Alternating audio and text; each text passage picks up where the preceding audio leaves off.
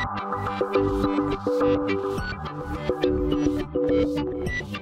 and welcome to my playhouse and today we are in the data center again, again, again. So uh, last week I did a video where I tried to run VMware 7.0 on this awesome IBM slash Lenovo X3650 Model 2 and it failed. We put two new good CPUs in there uh, that worked really well.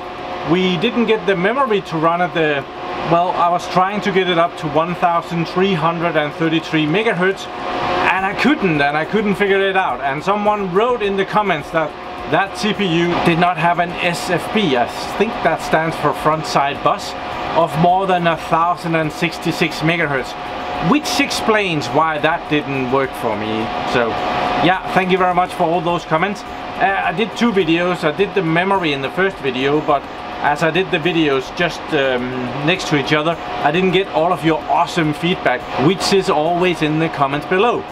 There's a lot of smart people down there.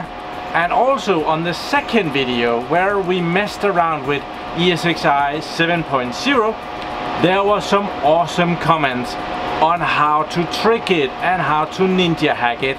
So we're gonna try that today. And of course, I post videos on Tuesday and on Friday. So my good buddy Unky Joe beat me to it and handed me my own ass on a silver platter over at Unky Joe's Playhouse. Um, he beat me to it because my videos are scheduled and he just flew it out there. The solution was in my comments. He stole that and made a video and good for him. Do go over there and see him do exactly the same thing. I'll make sure to leave a link in the description. I'm gonna do it as well because I wanna see if it works on this awesome IBM X3650 M2. He did it on an M3. Should be the same thing, but I wanna see it working too.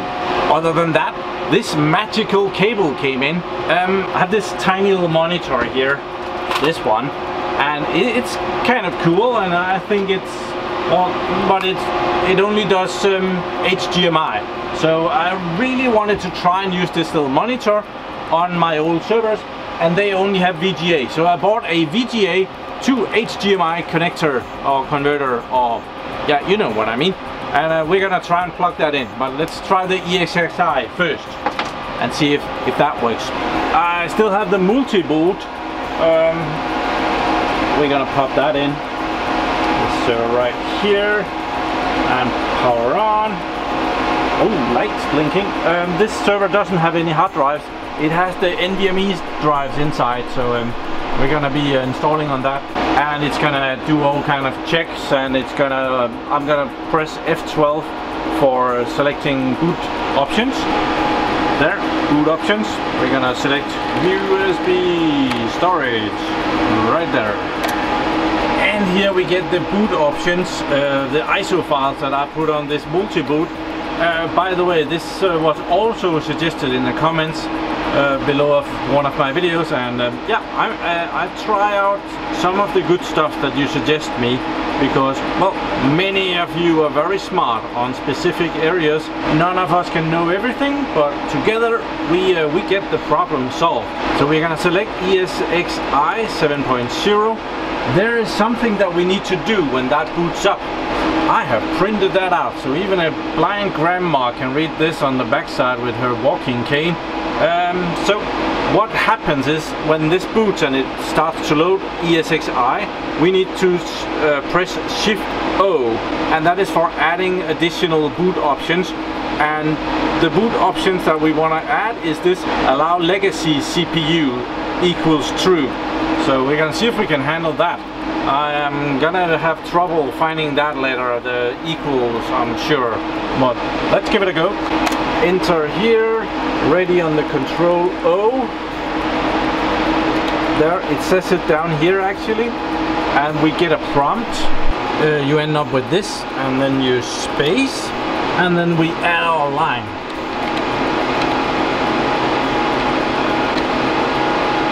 and it is case sensitive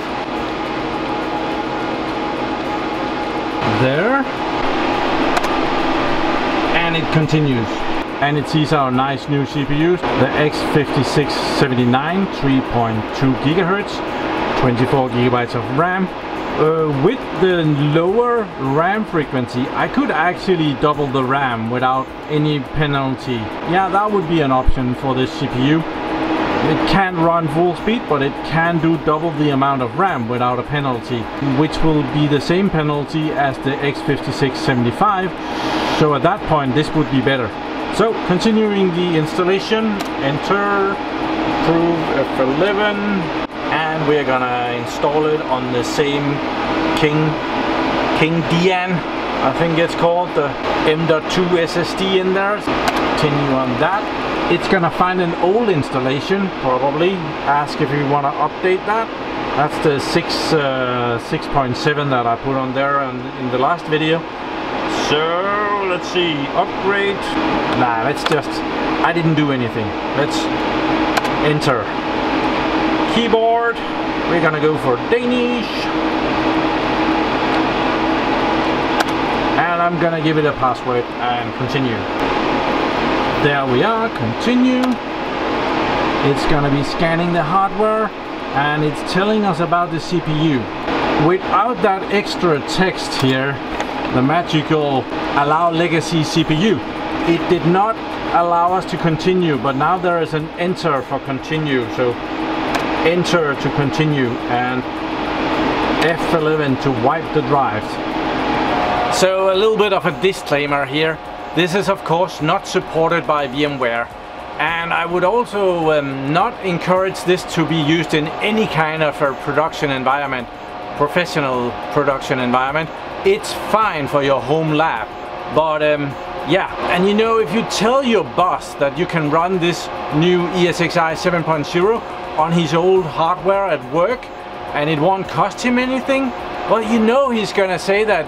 You can do that and you know who he's gonna point at if this doesn't work and it breaks and it doesn't perform as expected or if there's anything wrong. Well, it's still gonna be your problem and it's, it's not great. So no production environments and don't tell the boss because he's gonna expect you to fix it. Nevertheless he don't get this. Okay now it's uh, it's done. It wants me to remove the boot media.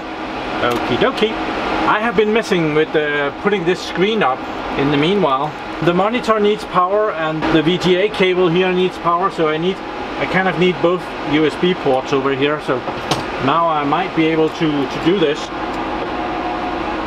I am very curious to see if this works. Field monitor. No signal. Okay, let's this in and out. Oh! Okay, it, it works. It doesn't look great. You get a very purple text here, but you get the same text. I would say that it works, but colors are bad. Let's try that again. Well, they're still purple. Let's put it up here. See if it gets better. It might not be the most beautiful solution with all those cables. I was hoping for just a cable that would go and uh, I'm a bit curious to what the graphics will look like. Yeah, it doesn't look great. Well, it still looks kind of cool to have that little monitor, even though it's a blotchy cable mess. so, uh, new colors for VMware. Okay, awesome. VMware 7.0 is running on here. Uh, let's go to the computer and see if it's happy in there. Okay, we're at the computer, ready to press login and it actually looks pretty good. Uh, 7.00 working there.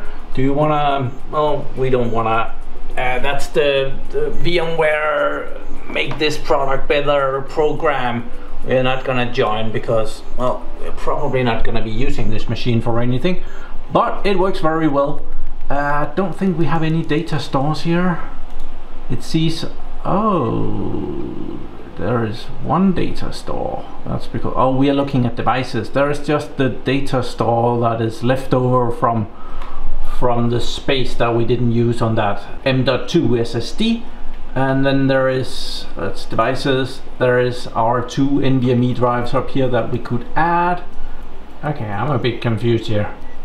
KingDian 223 gigabytes 100, I guess VMware is using it for something. So, um, okay. It's not as if this is any, it's not problematic to do this, but I have another idea that I want to test out. Do, um, does any of you remember this guy? This is the tiny Lenovo server that I made for my 1000 video and it has a USB stick and we installed ESXi 7.0 on that. I would expect that if we try and boot on that, it will also work. So I want to try that. So I've removed the little monitor again. I need the USB ports over here, so we're gonna pop that in, and then we are gonna ask it to um, to reboot, restart, restart. Yeah, F11. And to do that, you have to press F12, enter the password, and then you can boot ESXi from the console here. It's a it's a good security feature that you need to do that. And then of course when it boots we need to press F12 to go into the boot devices.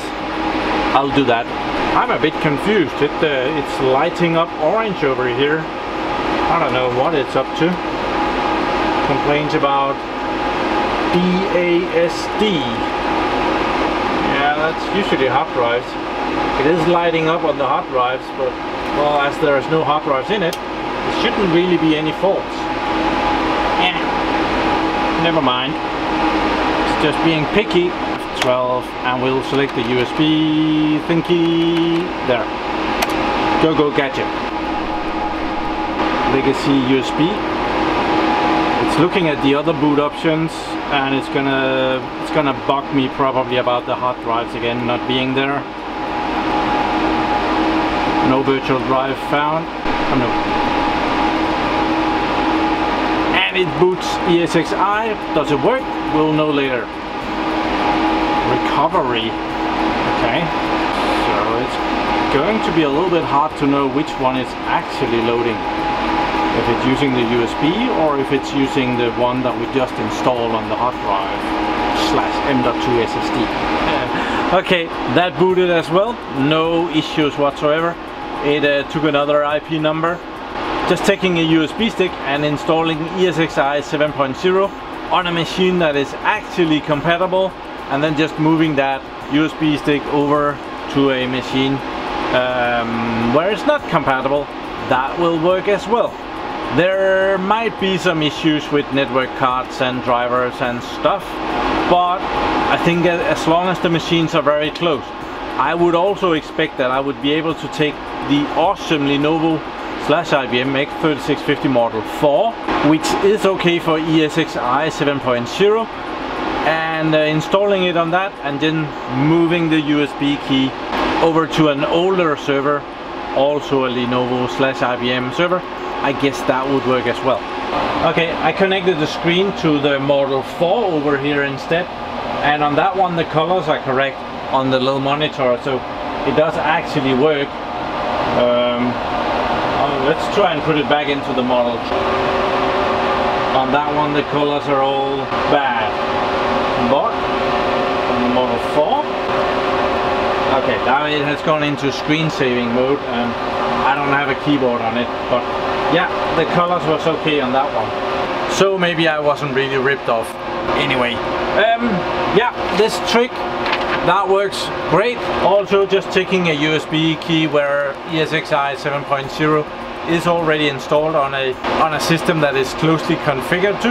Like I was surprised that I could take this tiny Lenovo and do that and it just booted and no issues and no problems whatsoever. So yeah, and thank you very much to Unky Joe for his shout out and to do this video on this project that I did not get up and running in the last video. But I hope you enjoyed this little ninja trick and maybe you have a server at home that you want to try ESXi 7.0 on and maybe this will just solve your problem. So thank you very much for watching my videos. Do subscribe to my channel so you can see me again and have a really nice day.